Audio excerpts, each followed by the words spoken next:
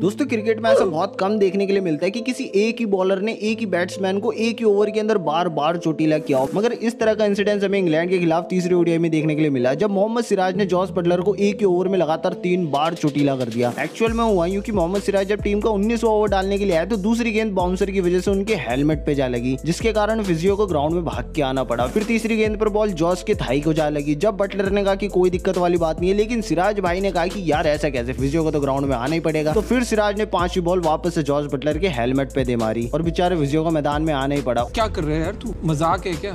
उसके बाद भाई की जरा स्माइल तो देखो जैसे कोई मिशन सक्सेसफुल हो गया।